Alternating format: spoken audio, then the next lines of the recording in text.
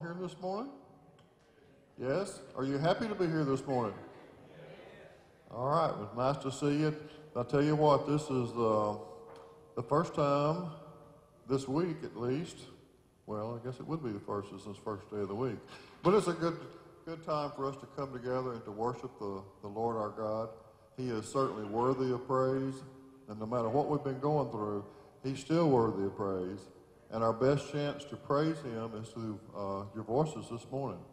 I'd like for us to lift our voices all in one uh, as one body and to just worship, thank Him for what He's done, sing songs about Him, sing songs to Him. So I'd ask you if you would, first song, stand. After the first song, you may be seated. And let's sing Send the Light.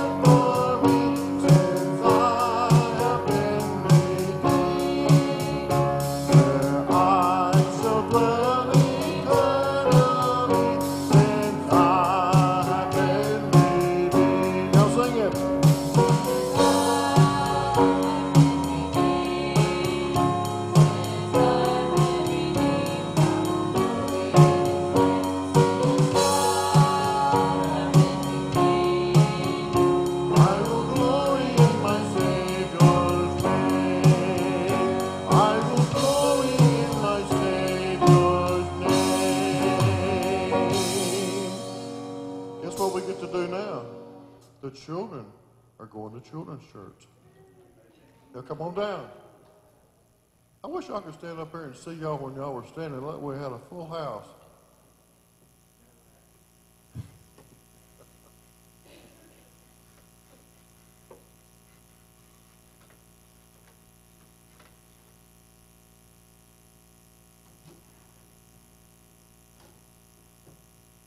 We're going to sing a new song to us probably a new song to you. Uh, so it doesn't go quite as smooth as I'd like it to. Just pay attention to the words. Think about what God has done for you as we sing at your name, as we all sing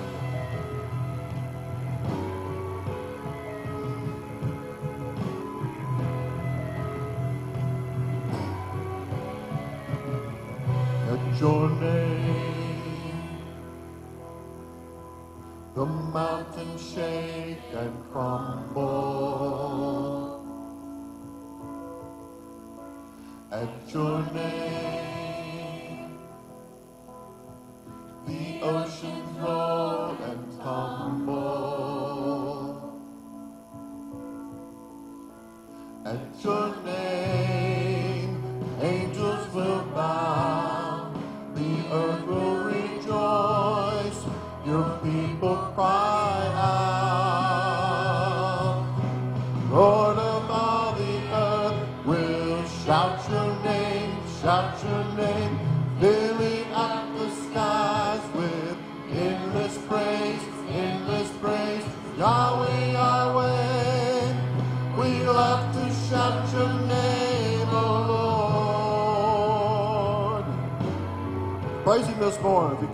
all the words in there, don't know the note, sing something.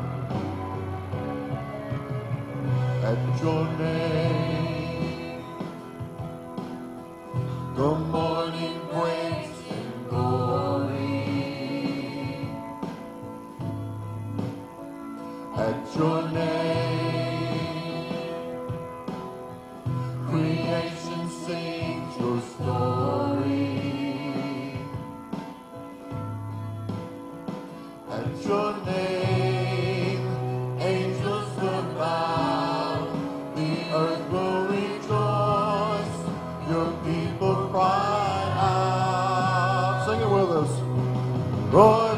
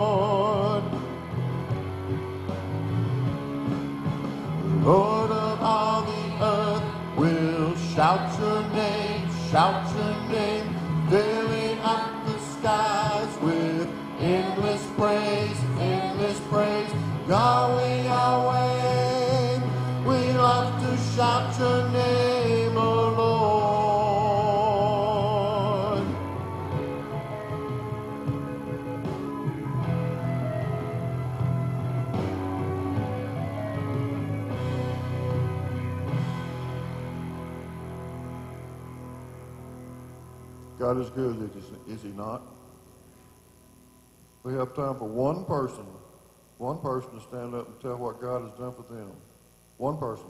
You get, you get two seconds. Come on up. One person.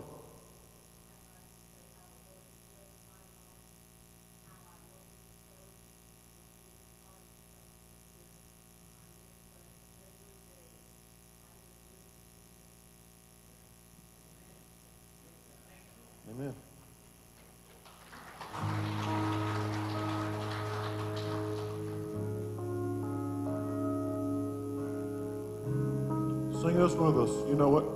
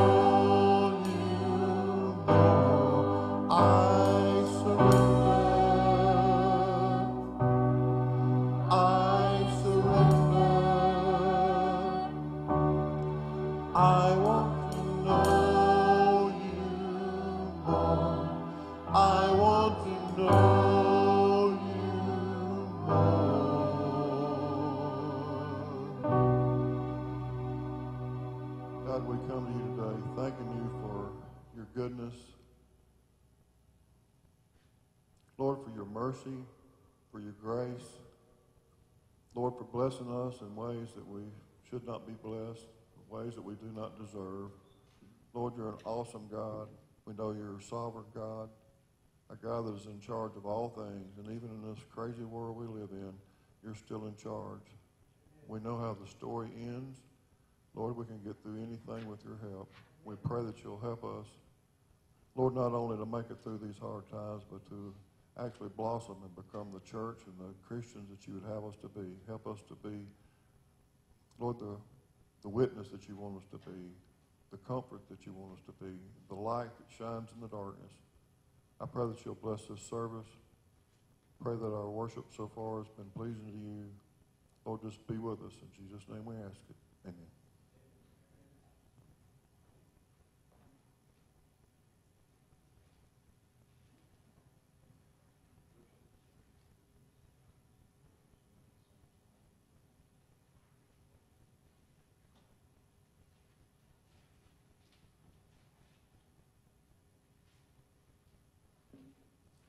We had a short little powwow down here, but uh, that uh, relates to something at the end of the service. We actually are going to have baptism at the conclusion of the service, and I'll explain that and how that's going to happen and uh, give you more information uh, when we get to the end. And so uh, that will take place probably somewhere around 11:45. So, uh, but if you have your Bibles today, turn back again to the book of First Thessalonians. We continue in our study this uh, letter of encouragement uh, that the Apostle Paul wrote to the church there, uh, those believers that lived in Thessalonica. And today I want to talk about uh, the evidence of election or the evidence of divine election. First Thessalonians chapter 1, verses 4 through 10. But I want to begin with verse 1 give a little uh, update of where we've been. Paul writes this letter along, he says, with Silas and Timothy. He writes to the church of the Thessalonians in God the Father and the Lord Jesus Christ. Grace to you and peace from God our Father and the Lord Jesus Christ. We give thanks to God always for you all, making mention of you in our prayers, remembering without ceasing your work of faith labor of love, and patience of hope in our Lord Jesus Christ in the sight of God and Father, our God and Father. Now, last week, uh, in these verses, we looked at the characteristics of a strong church. So I'm going to remind you of those. I'm going to put those on the screen. So we'll look at those briefly. Remember, we said a strong church was a church of the people a church that's founded in God the Father and the Lord Jesus Christ. A strong church is a church that manifests the supreme gifts of grace and peace. A strong church believes in and promotes prayer. A strong church is faithful uh, in the Lord's work. And then, number six, which was taken from verse number four, a strong church gives evidence of being God's chosen people. And I told you last week we wouldn't cover that. There was too much there that we would cover that this week, and that's what we're going to do. And so we begin in verse 4. This is our text for today. Knowing, beloved brethren, your election by God, for our gospel did not come to you in word only, but also in power and in the Holy Spirit and in much assurance as you know what kind of men we were among you for your sake.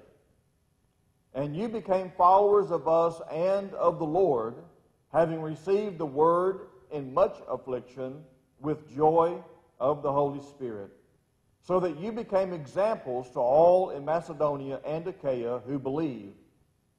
For from you the word of the Lord has sounded forth, not only in Macedonia and Achaia, but also in every place. Your faith toward God has gone out, so that we do not need to say anything. For they themselves declare concerning us what manner of entry we had to you, and how you turned from to God from idols to serve the living and true God, and to wait for his Son from heaven, whom he raised from the dead, even Jesus, who delivers us from the wrath to come. Amen. What verses? Now, Paul said in verse 4, he said, knowing your election by God. And if you have a different translation than the, New, than the King James or the New King James, yours will read a little bit differently there. It may not use the word election, it may use the word chosen. That we know, brothers and sisters, that you are chosen by God or that God has chosen you. The word election means to choose. It means to select for oneself. It means to, to pick out, to select out. Paul is saying to these believers, he says, You know, we know, we have no doubt that you have been chosen by God, that you have been selected by God. Now, who are the elect? Well, the elect of God, uh, the chosen of God, are those who have placed their faith in the Lord Jesus Christ and in Jesus Christ alone for salvation. The elect or the, or the chosen ones are those who have been saved by grace through faith. Now, a lot of people try to get into all of these arguments about you know, election and when it takes place and all that. And the Bible says, you know, we were chosen before the foundation of the world, and, and you can dig real deep into that. And oftentimes, some you know, people will, will sometimes get a little confused and they'll get a little worried and they'll say, well, you know, I've, I've placed my faith in Christ and I trust Him as my Savior, but, but I, you know, but, but I'm not sure whether I'm one of the elect or not. What, what, if I've, what if I've put my faith in Christ and I'm not one of the elect? Well, let me just assure you this. If you've placed your faith in Christ, you're one of the elect. Somebody will then say, well, well, what about some of those? What about him or what about her? Well, what if she's not the elect? Well, you know, they're not the elect if they choose not to place their faith in Christ. I think it's a very simple way to look at it. Now, we could get into real deep theology and, and, and all of that, and, but I don't, it's not necessary because, listen, if you have placed your faith in Christ, you are the elect of God because you have chosen to believe in the Lord Jesus Christ. God has worked in your heart, He's worked in your life. Uh, then you are the chosen ones. And if you're here in this service today and you've never placed your faith in Christ, God works in your heart. The Holy Spirit moves in your heart. And you want to receive the Lord Jesus Christ as your Savior, you can. And once you place your faith in Christ, then you become a child of God, or what Paul says here, the elect of God. Now, Paul says we know. We know that you are the elect of God. How do you know that? Why did he say that? Is it because God gave some special uh, insight? No, because there were some evidences that these people gave that indicated that they were truly saved, that they had truly become the children of God. So don't let that word elect or, or some of these uh, theological words uh, uh, throw you off or, or, or cause you confusion. Uh, the, the simple facts are if you place your faith in the Lord Jesus Christ, He works in your heart, you express faith, then you're saved by the grace of God as you exercise faith in the Lord Jesus Christ. You are part of the elect, the chosen, the family of God, the church of God, the body of Christ, uh, all the same thing. Now, the truth is, if we have placed our faith in Christ and we have been saved by the grace of God, there ought to be evidence in our life that we are the children of God. If there's no evidence, we've got a problem. Now, let me say something here uh, about security and assurance. Because you can have the security of salvation but not have the assurance of it. What do I mean by that? When a person places their faith in the Lord Jesus Christ, they are eternally saved. From that moment forward, you cannot lose your salvation. It's impossible. And I've gone over that in the past. But, but once you're saved, my friend, you're always saved. But you may lack the assurance of it. But that doesn't mean that you're not secure. Security of salvation is, from God's perspective, He knows you've placed your faith in the Lord Jesus Christ and you are eternally secure in Him. Jesus said, You're in my hand and you're in the Father's hand, and no one can snatch you out of my Father's hand or out of my hand. You are eternally secure. Assurance comes when we have the confidence in our mind and heart that we are saved and eternally secure. We get that assurance, first of all, by the Word of God, by what the Bible teaches.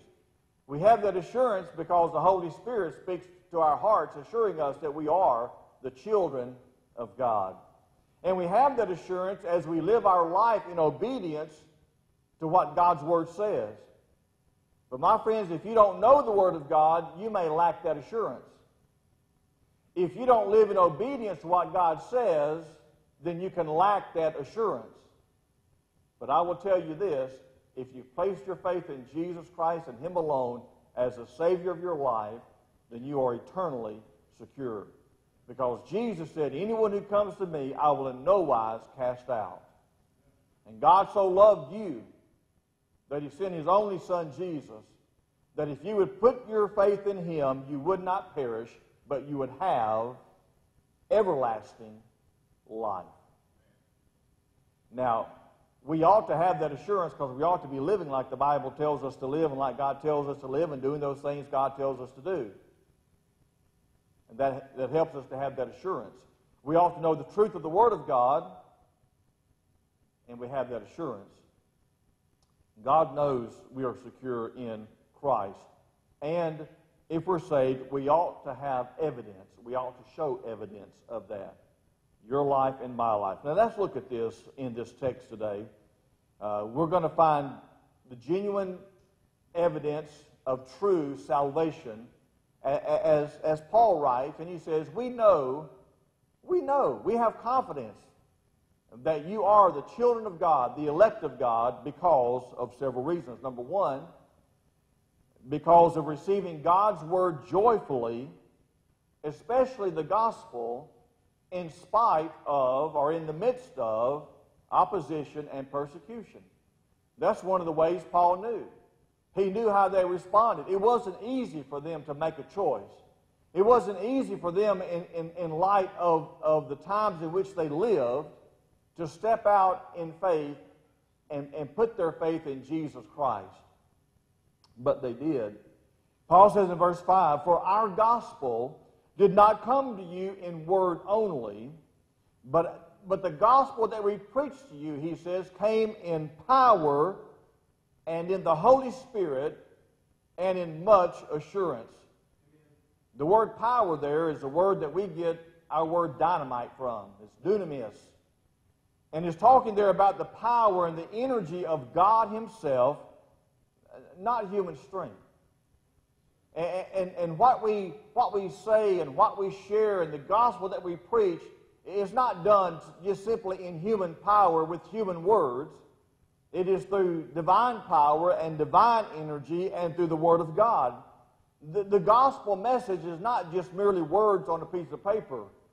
The, the, word, the gospel and, is, the, is the power of God, the Bible says, unto salvation of everyone who believes. It's not just words, it's not just an idea, although words are involved and, and ideas are involved. The gospel is more of that, more than that. The gospel is the power of God at work in the human heart with the Holy Spirit that applies that word, that stirs in the heart, that convicts a person of their sin, and that energizes a person to believe and to accept the Lord Jesus Christ. Now, you think about it for just a moment. Do you remember back to the time that you were saved? You remember that time? Was there a time in your life that you go back to and you remember a, a time when, when you trusted Jesus Christ as your Savior? I would say that if you look back at that time, you remember how God stirred in your heart. Now, you may have been young and you may not have understood it. In fact, some people who are older don't understand it as either. But there's something that happens. There's a stirring of the Holy Spirit in your heart. You're awakened to the fact that you have sinned against the holy God and that you need a Savior. His name is Jesus. He died on the cross for your sin. He paid for your sin. He rose again, and He lives today. Sits at the right hand of God the Father. He's coming back one day. But a stirring in your heart, that, that's through the, the power of the gospel and the Holy Spirit who, through His power, works that in your heart to, to energize a person to believe and to become a child of God. The Bible says in Hebrews 4 and verse 12, For the Word of God is living and powerful. My friend, listen, there is no other book on the face of the planet that can ever claim to be living and powerful. Only the Word of God that's living and powerful and sharper than any two edged sword, piercing to the division of soul and spirit, to the joints and marrow, is a discerner of the thoughts and intents of the heart. Romans 1:16 Paul said, "I am not ashamed of the gospel." Why? Because it is the power of God to salvation to everyone who believes, no matter who you are, whether you're a Jew or whether you're a Gentile the Word of God. The gospel is the power of God. And the Holy Spirit is God's power that works in the Word of God. It works in the human heart to bring a person to salvation. Now, in verse 6, Paul says, And you became followers. You became followers of us. The word follower there is the word that we get our word mimic from. It, you, uh, to imitate, to, to, live like somebody else lives, to follow the pattern of somebody else. And he, he said, you, you began to follow the pattern of, of how we were living our life and, and, and the things that we believed. But not just followers of us, he said, but also of the Lord, the Lord Jesus Christ, having received the word in much affliction and joy of the Holy Spirit. You see, their hearts were ready and their hearts were receptive now, if a heart's not ready and a heart's not receptive, then it doesn't matter what you do, you cannot make somebody believe. You can't trick them into it. You can't force them into it. You can't manipulate into it. You can't do it for them. But the heart has to be ready. The heart has to be receptive. And that's the work of the Holy Spirit. It's the work of the Word of God and the gospel message and the, the messenger, whoever it is, me, you, any, anybody that God uses to influence and to help and to encourage and to, to be an example for somebody else that they might be saved. Now, Paul says you received the, the word, you received the gospel, and you received it joyful. Even in the midst of opposition and, and persecution, and Paul had experienced that. Remember, he had to leave, leave the city because it got so rough. And yet, even though he left, the persecution didn't stop. And yet, the gospel bore fruit. And people trusted in the Lord Jesus Christ. And, and uh, the church was established there.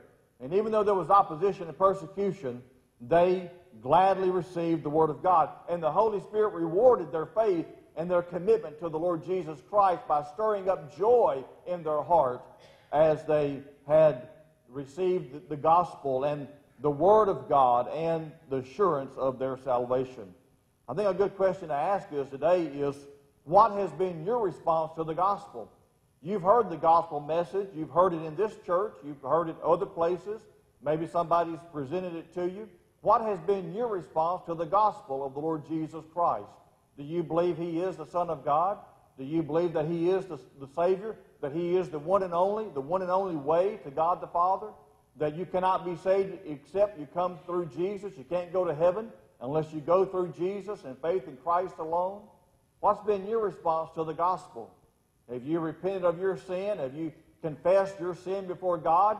That yes, you've sinned and you have no hope for heaven except for Jesus Christ and his death for you on the cross. Have you trusted him? And then what's your attitude toward the Word of God? Uh, do you have a hunger for the Word of God? Do you receive the Word of God when you read it, or when you hear it, or when it's preached? Do you welcome the, God, the Word of God and the truth of God into your life? How do you, what's your approach? What's your attitude toward the Word of God? Paul says, We know that you are the elect because you've welcomed in the Word of God and you've gladly received it, even in the midst of opposition. But here's the second thing, and that is by becoming an example, an example of true faith in God to other people, and having a reputation of being a dedicated follower of the Lord.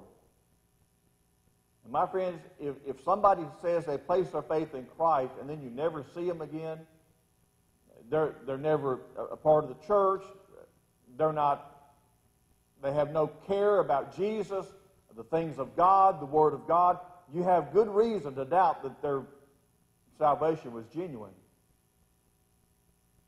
These believers became an example for others, and they had a reputation. What was their reputation? that they were dedicated followers of the Lord Jesus Christ. Paul says in verse 7 You became examples to all in Macedonia and Achaia who believed. That tells you something about the way these people lived their life day in and day out.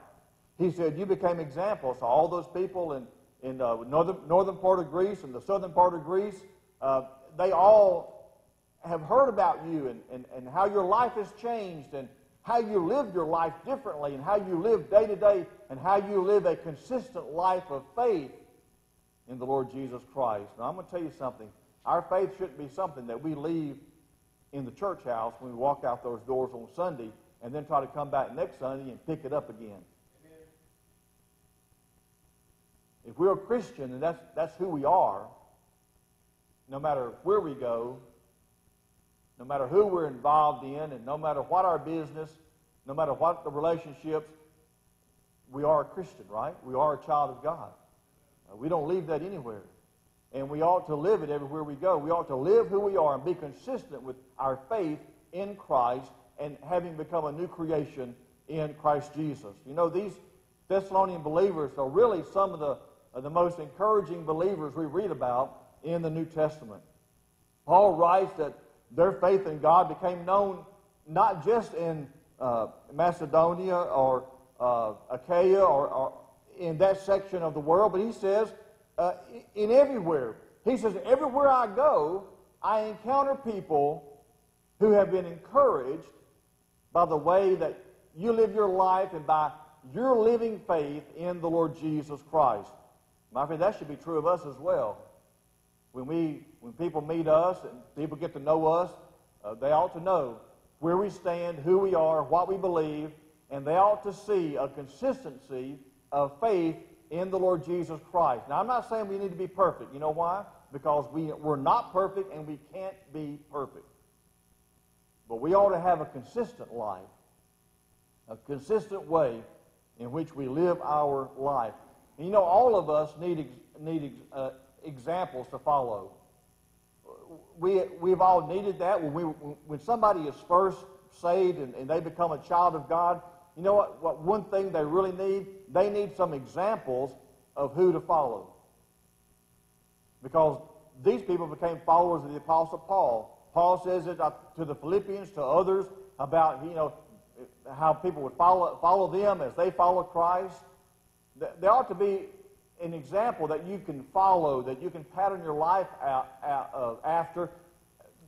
People that will help encourage you to be all that God has called and created you to be. Not a bad example, but a good example. We all need those good examples, but I'll tell you something else. We all need to get to the point to where we are a good example for somebody else. That they can follow after us, pattern themselves after us, that we would be an encouragement to them to be all that God has created them to be. Now, you'll notice these Thessalonians that once they were saved, they began to live out their faith. I mean, once they were saved, they began to live it out. Their lives were changed, and uh, they, they quickly gained a reputation of being followers of Christ. Now, I want to tell you something. These people didn't just get religion. Have you ever heard that before? Have you ever heard that somebody, uh, maybe they were saved, or maybe they had an experience, or whatever it is, and somebody might make a statement like this Oh, did you hear about old so and so? He done got religion. Well, I want to tell you something. If somebody got, if somebody gets religion, they don't get much. And if all somebody gets is religion, they sure don't get heaven. But they don't get salvation if all they get religion. No, these people got more than religion. My friend, listen, they got a relationship. A relationship with God through the person of the Lord Jesus Christ. These people got saved.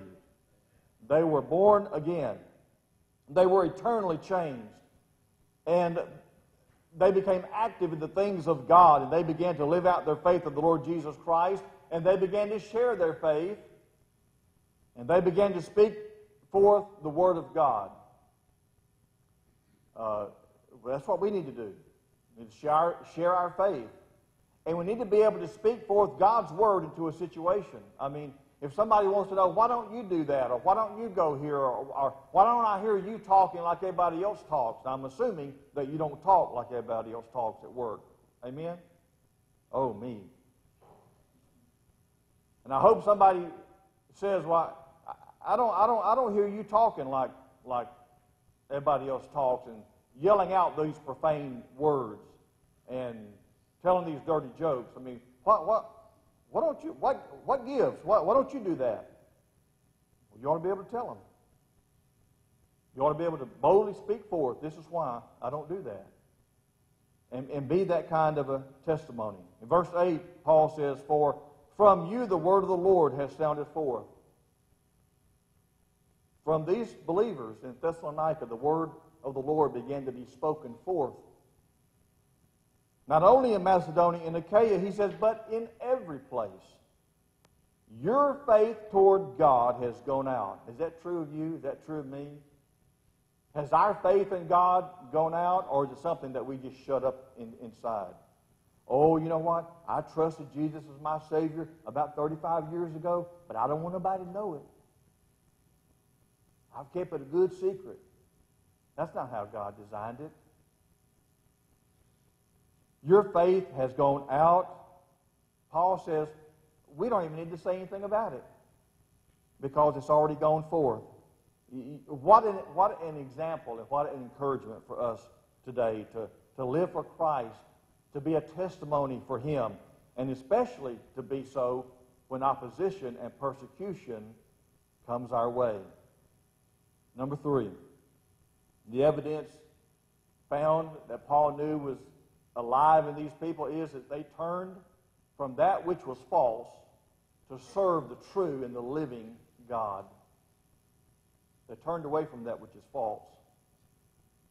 Verse 9, he said, They declare what manner of entry we had to you, and, and, and hear this, how you turned to God from idols to serve the true and the living God. What a, what a testimony.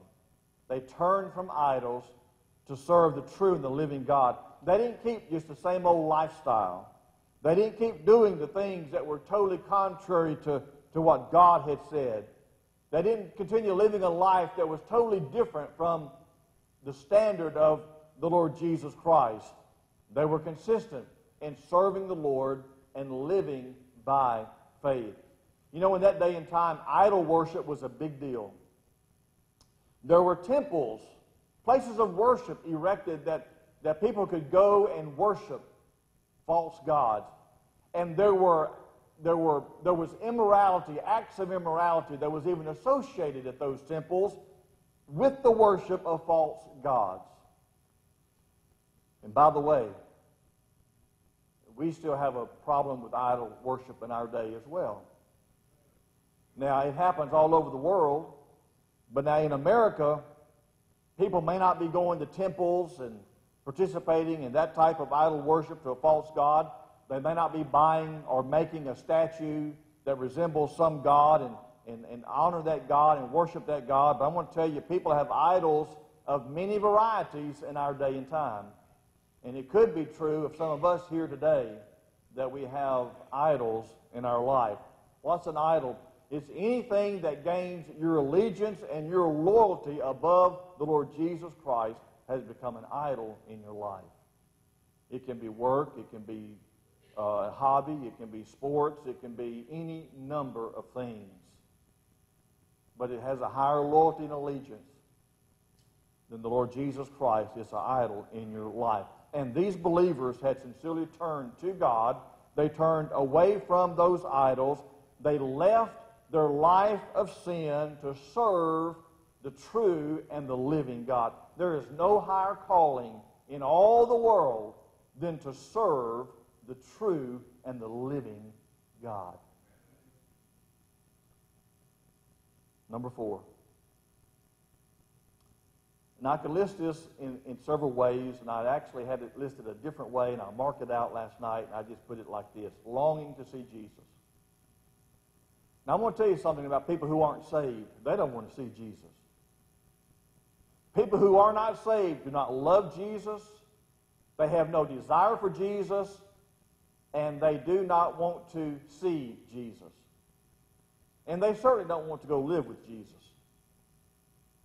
I'm going to tell you, these people had a longing for Jesus because in verse 10, he says that not only had they turned from idols to serve the living and true God, but he says also to wait, to wait for his Son, for God's Son, from heaven, whom he raised from the dead, even Jesus, who delivers us from the wrath to come. Now, these people were looking forward to Jesus. And that's the encouragement that you and I, as Christians, have. The encouragement is that Jesus is coming again. We sing about it, we read about it, we preach about it, and that's our hope.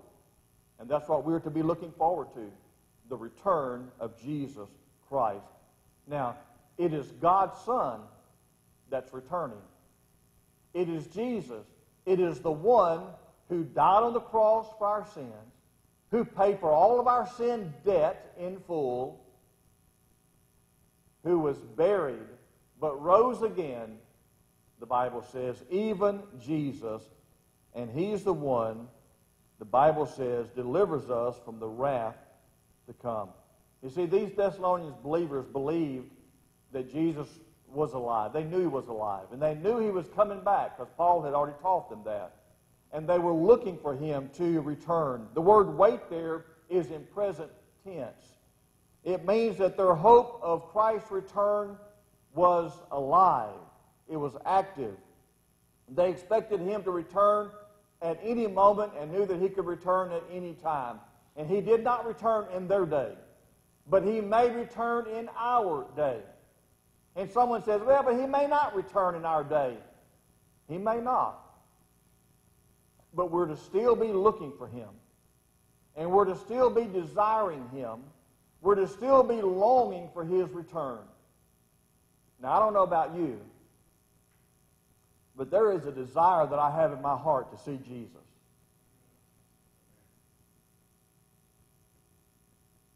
If somebody's a child of God and they've been saved by the grace of God, and they don't care about seeing Jesus face to face, in person, I got a problem with that. Because Jesus ought to be the love of our heart, and we should be longing for him to return. The Bible says that wrath is a day of wrath is coming. It has to. Humanity is sinful and has rebelled against God. The Bible says that, that the day of his wrath is set. But there's glorious news that in Jesus Christ we are delivered, we are rescued from the wrath that is to come. And that's our great expectation. Let me close with this verse of Scripture. This, this is how Paul puts it in the book of Titus, chapter 2, verses 12 through 13. He says, teaching us that denying ungodliness, refusing ungodliness, and worldly lust, we should live soberly. We should live righteously. We should live godly in this present world. Looking for that blessed hope. What is that? The glorious appearing of the great God and our Savior, Jesus Christ. Now, if you've never placed your faith in the Lord Jesus Christ, the Bible says that you're under the sentence of condemnation and that God's wrath abides on you. And that's terrible news. And there's a terrible result that comes from that. But the good news is you have the opportunity to turn to the Lord today. To confess yourself as a sinner in His sight, which we all are. All have sinned and come short of the glory of God. But if we simply come to Him, confess our sinfulness and our need for Him, and by faith believe in the Lord Jesus Christ who came from heaven, lived a perfect life, died on the cross as our substitute. Yes, he was buried, but on the third day, he rose again. And he ascended back to heaven to sit at the Father's right hand until that day when the Father says, Son, go get my children. That day could be quickly approaching. It could be right upon us. And you'd be left behind. If you've never trusted Christ, I invite you to do so. I also in, invite our, our church to a time of prayer, and musicians will come.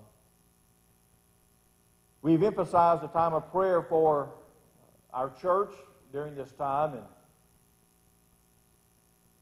there may be things on your heart that you need to pray about today that's specific to this message about how you live your life and, and, and so forth. And God's applied it to your life in some way. It may be that, uh, that today there's someone on your heart that you really want to pray for. Maybe some burden on, on your heart. But we have emphasized that we all as a church pray specifically for our nation. For COVID 19 and all the results of that and how it's affected us. And I'm so glad that we're able to come back today in spite of that, that things are moving forward. But not just COVID 19, but also the healing of our nation, the division that our nation has, and the, uh, the trouble our nation is in. And for the upcoming el- election to uh, take place in November, on November the 3rd. Uh, we just need to be praying for that.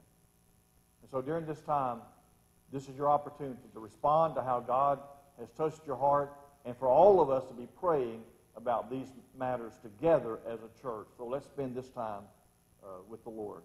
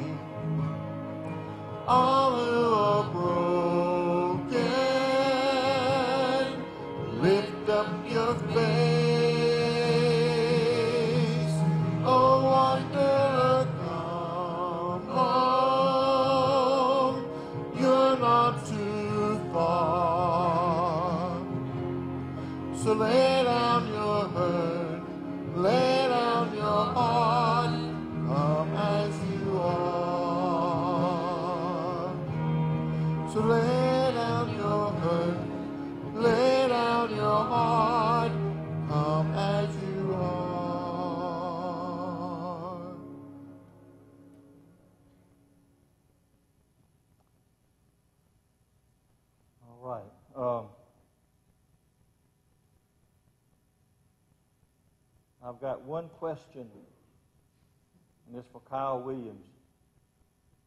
Where is your sister? Okay. Uh,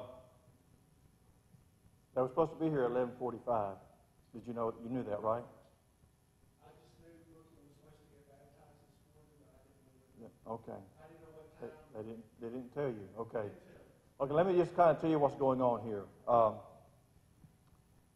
a little girl named Brooklyn Fish, age of ten, has trusted Christ as her Savior. Now, this was uh, this was back months ago, about the time COVID hit. Now, Brooklyn's grandmother is Kyle's sister, Kim Williams. Kim has a number of underlying health conditions. She's had some serious health problems. It wasn't maybe a couple years ago.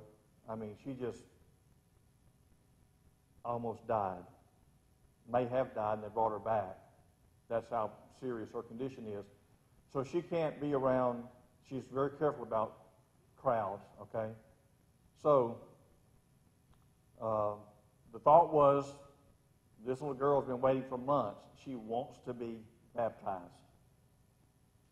And so we thought, well, restrictions have eased up a little bit. Kim has to be very, very careful. So the, the thought was that the family would come about at the end of our service so they could slip in, come to the front row. We could go get dressed, and then we could, I could baptize Brooklyn.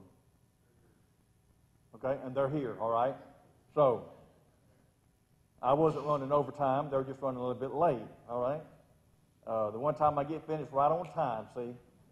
Uh, so, that's what we're going to do. And uh, I think Mike and, and then we're going to sing a little bit. So, we, It's going to take us a few minutes to get dressed and then do the baptism. I'd like for you to stay uh, for the baptism, if you will, to encourage this family and this little girl. Good job. I mean, look, you want something done, ask him, and man, you're quick.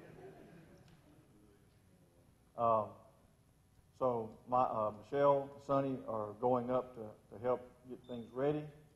And I will present Brooklyn to you when she, when she comes in. We'll go get dressed. Uh, Mike will lead you in, in more songs and worship. So we may get out just a little bit later uh, than normal, but that's okay today, isn't it, for today? Uh, we can do that. No, no, no, nothing to be sorry about. I mean, things happen when people trying to get, get things together and get ready and try to be at a place at a certain time. Amen. So we'll, let's wait for them to get, get in. But thank you for being here today. Isn't it great to be able to get come back for a little bit more normal service? Uh, to have, have our Sunday school uh, back today and have children's church back.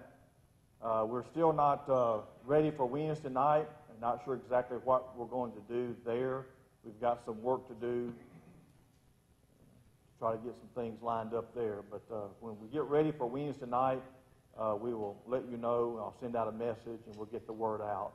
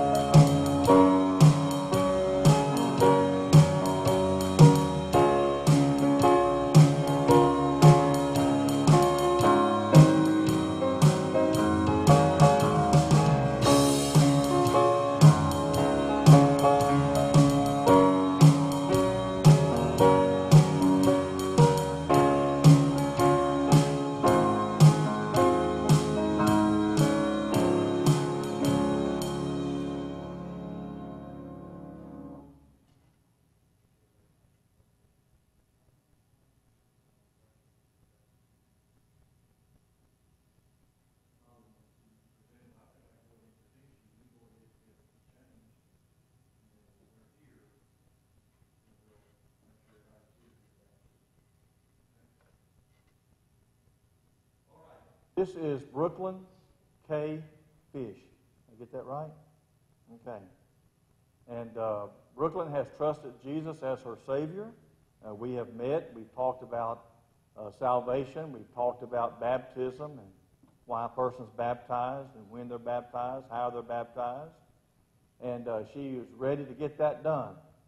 And so I present her to you uh, as a new believer in Christ to be baptized and become a member of our church.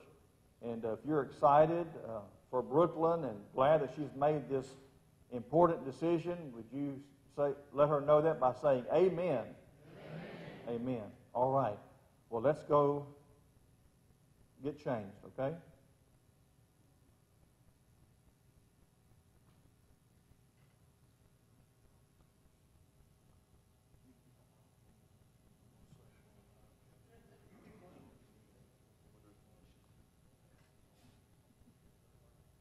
Right, here's the plan. The preacher asked me on the way down for us to do a couple of three songs that we've already done this morning. We're going to do one, and we're going to do something else. Sing with us.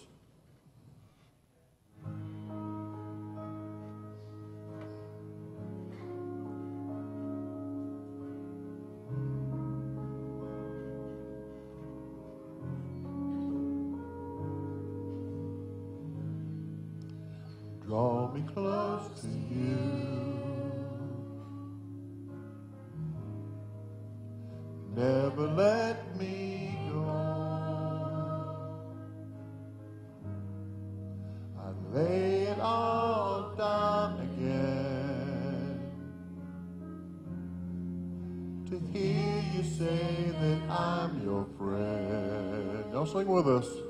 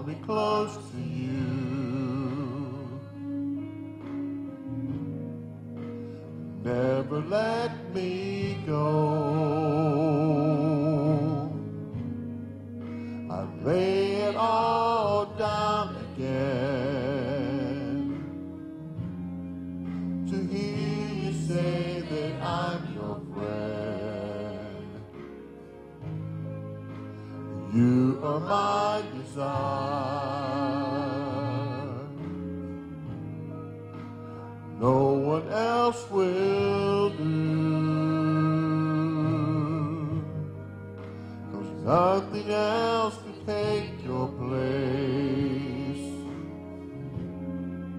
To feel the warmth of your embrace, help me find